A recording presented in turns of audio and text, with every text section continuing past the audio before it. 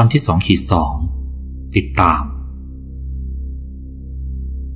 เปิดเรื่องมาบนขบวนรถไฟสายด่วน ฝ่าพายุฝนตกหนัก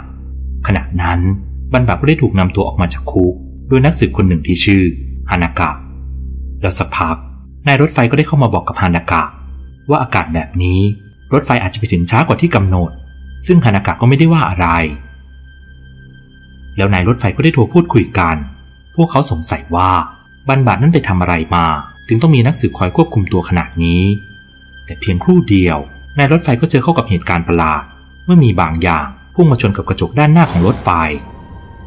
ก่อนที่นายรถไฟจะเจอเข้ากับสัตว์ประหลาดตัวมหึมา ที่กำลังขึ้นมาจากมหาสมุทรและมันก็ได้กระโดดขึ้นมาเกาะยางรถไฟ ขณะเดียวกัน ในฝั่งของฮานากะที่กำลังควบคุมบันบะอยู่ ก็ได้รับแรงสั่นสะเทือน จนทำให้พวกเขารู้สึกแปลกใจว่ามันเกิดอะไรขึ้น และเพียงครู่เดียวบันบะก็รู้สึกเจ็บที่แผลเป็นบนใบหน้า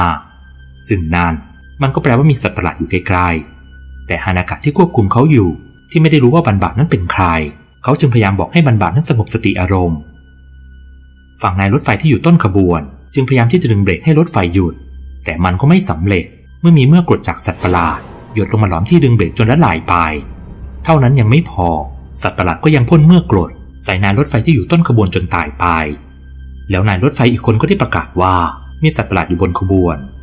และแล้วทั้งหมดก็ได้เจอเข้ากับสัตว์ประหลาดตัวยักษ์ที่กำลังเกาะอยู่ที่ต้นขบวน มันมีลักษณะเหมือนปลาหมึกผสมกับสัตว์มีพิษ แล้วบันบักก็ได้บอกกับฮานากะว่า สัตว์ประหลาดตัวนั้น มันกำลังตามเขาอยู่ ซึ่งถ้าไม่รีบทำอะไรเข้า คงจะเกิดเรื่องที่เลวร้ายกว่านี้แน่ๆและนายรถไฟก็ได้บอกว่า ต้องรีบหยุดรถไฟไว้ให้ได้ในตอนนี้ เพราะไม่อย่างนั้นที่ทางเลี้ยวด้านหน้า รถไฟจะต้องดิ่งตกเหวลงไปอย่างแน่นอน แต่พอบันบักคิดจะทำอะไรบางอย่าง ก็กลับถูกฮานากะยกปืนจ่อใส่และบอกให้เขานั้นอยู่เฉยๆ แล้วบันบักก็ได้บอกว่า ถ้าเขาไม่ทำอะไรสักอย่าง ทุกคนบนรถไฟขบวนนี้ก็จะต้องตาย พอได้ยินแบบนั้นบันบักและฮานากะจึงได้ร่วมมือกัน โดยนายรถไฟจะไปยังห้องเครื่องเพราะเป็นอีกหนทางหนึ่งที่จะหยุดรถไฟไว้ได้ แต่ทว่านายรถไฟที่ไปยังห้องเครื่องนั้น ก็ได้ถูกสัตว์ประหลาดพ่นเมื่อกรดใส่ จนเขาต้องตายไปอีกคนบันบักที่เห็นท่าจะไม่ดีและคิดไปว่า ถ้าหากเขาใช้พลังจระเข้เงาที่อยู่ในร่าง มันก็จะเสี่ยงทำให้คนบนขบวนต้องบาดเจ็บไปด้วย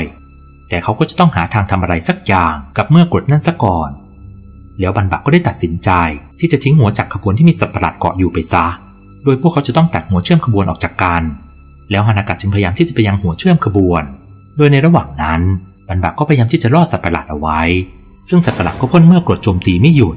บันบักจึงเร่งให้ฮานากะรีบจัดการกับตัวเชื่อม เพราะอีกไม่นานรถไฟก็จะถึงทางเลี้ยวแล้ว แต่ทว่าตัวเชื่อมขบวนที่เป็นเหล็กหนัก มันก็ยากที่จะดึงให้หลุดออกจากกัน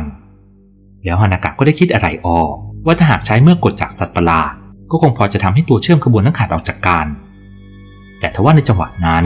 บันบักก็ได้ถูกสัตว์ประหลาดจับตัวเอาไว้ฮานากะจึงได้ยิงปืนใส่มัน จนมันปล่อยบันบักลง แล้วพ่นเมื่อกดไปทางฮานากะ ซึ่งฮานากะก็ได้อาศัยจังหวะนั้นหลบให้เมื่อกดไปโดนตัวเชื่อม จนทำให้ตัวเชื่อมนั้นขาดออกจากกันและทำให้หัวขบวนที่มีสัตว์ประหลาดเกาะอยู่ ดิ่งลงเหวไป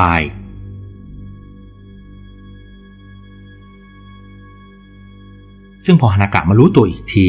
ขบวนรถไฟก็ได้หยุดไปแล้ว และผู้โดยสารทุกคนก็ปลอดภัยดี ซึ่งปันบากก็ได้ขอบคุณฮานากะ แต่พอสิ้นประโยคนั้นจู่ๆ ก็มีเฮลิคอปเตอร์ขององค์กรคิมูระบินลงมา และจับตัวบันบักไป ก่อนที่ภาพจะเผยให้เห็นคิมูระที่กำลังสั่งการอยู่เบื้องหลัง และได้พูดขึ้นว่าไม่เจอกันนานเลยนะครับ อาจารย์บันบะโปรดติดตามบันทึกของโซสุเกะในตอนต่อไป กับตอนที่มีชื่อว่า พิธีลับ